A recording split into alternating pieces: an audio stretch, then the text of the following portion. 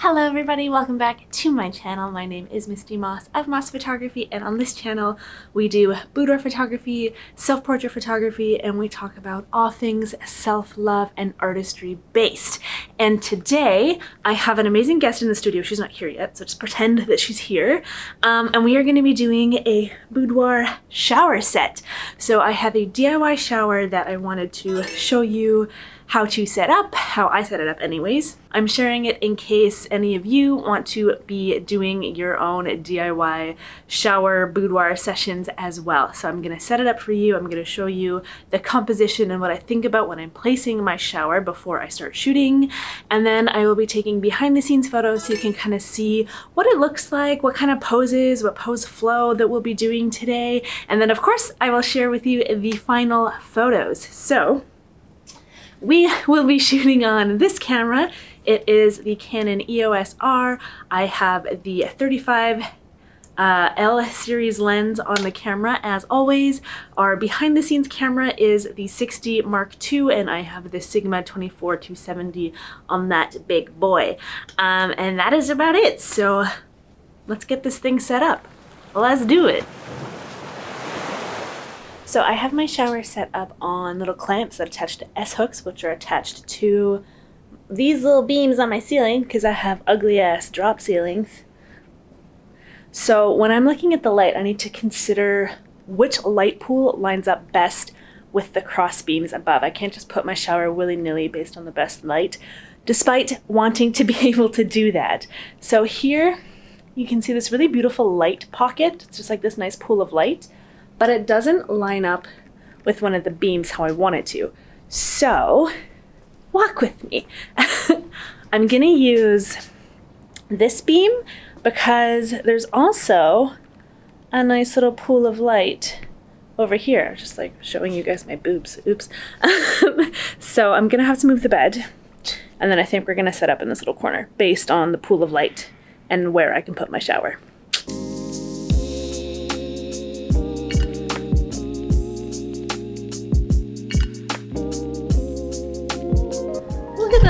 Pool of light. It's so nice. Looks so good. Okay, so I moved everything out of the way. I showed you the beautiful pool of light that we're working with, and now I'm gonna set this thing up.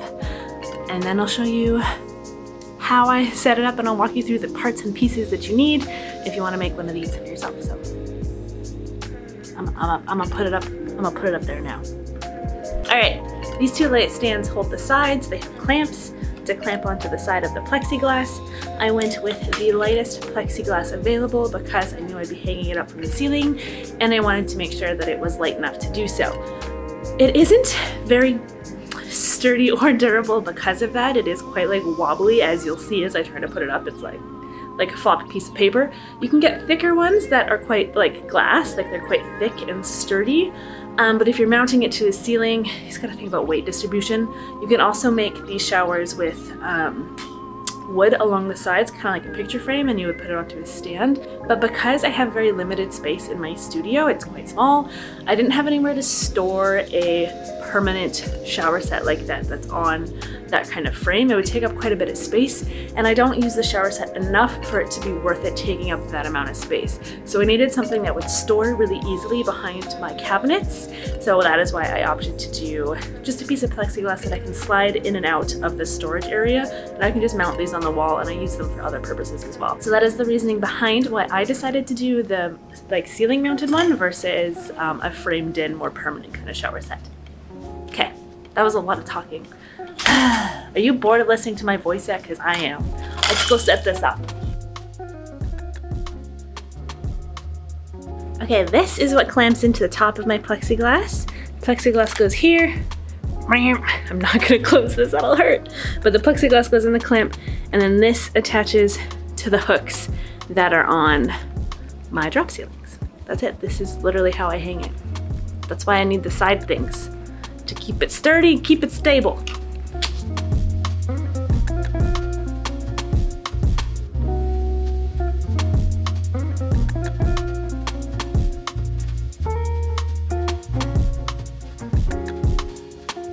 This is the setup in the ceiling, doo -doo, all the way down. ta-da, a fake shower. Um, that's it, that's all I do. The side light stands are totally optional. I just have them there for some extra security. Um, sometimes I don't use them if I want more of like a full shower kind of look, um, but they are nice to have in case I want the client to push up against the glass um, and also just to kind of know that it's like a little bit more supported on the sides.